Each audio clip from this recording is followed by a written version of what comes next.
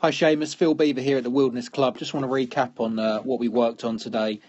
So I thought swings coming along really good. With last lesson we was trying to get them hands to track a little bit more inside the line, keeping the club head out. And we can see here the first move, the club goes a little bit outside the line, but nothing like last week. So really, really good. I do need to keep an eye on this club head though. It is getting a little bit inside, but we left that alone today.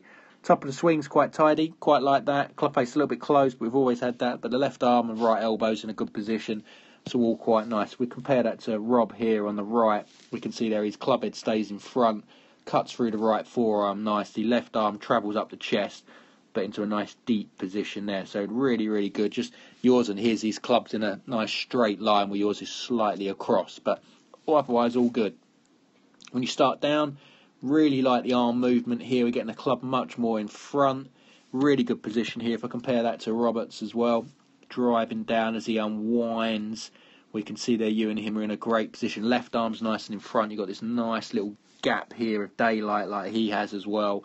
So it's really, really good. Setting up for that nice little sort of sting cut. My problem with you today was really, uh, for me, the legs and the chest to stop rotating.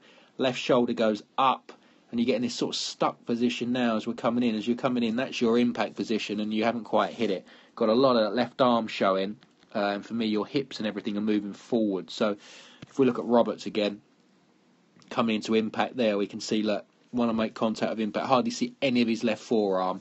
A little bit of his left leg showing, but he's definitely just cleared that little bit more of the chest. He's got that less. Uh, you look like you're a bit stuck this way, and he looks like he's pointing, say that way. So Today's lesson was really just keep working on trying to swing left and across it. Keep the hands passive. Use the stick drill still uh, if you need to. Just keep swinging left and across it, but get that chest out of the way.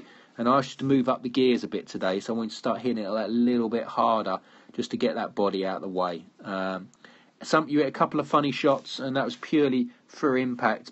Not many, but a couple where your arms go out to the right that way uh, just keep an eye on that. We want to keep that left arm attached to the body on the way through, and then you can start the ball just left and hit that squeeze cut that I think we're looking for. So, otherwise, very good, Seamus. If we look at Robert for impact there, you're going to see his club cuts out nice and low. And if we look at yours now, I think you're doing a really good job of getting that club cutting out low. But just a couple of swings I did see today where your arms sort of separated and went went out to the right, and that'll cause you a few problems. When you get the wedge out, just get that ball a little bit further back in the stance, a little bit more weight left. But I really need that pressure going down and left a bit more, Seamus. I need some big divots with the wedges. You tend to sort of hang back and scoop.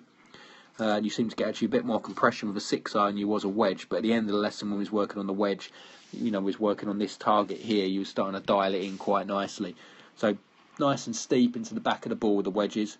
Really good. And when you're chipping, when we did some chipping work, just remember we want to see two shots, high or low Low is your normal sort of swing. We're just going to control it with the shoulders, hands stay ahead and turn that left shoulder out the way. And the high ones, we're going to let the right hand flip underneath. So we're going to use the sole of the club.